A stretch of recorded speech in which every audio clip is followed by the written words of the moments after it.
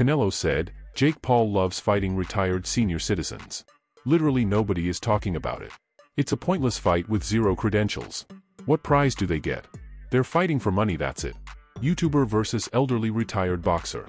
Jake wants to brag that he beat an almost 60-year-old Mike Tyson, not like he's going to be fighting Mike Tyson when he was at his peak.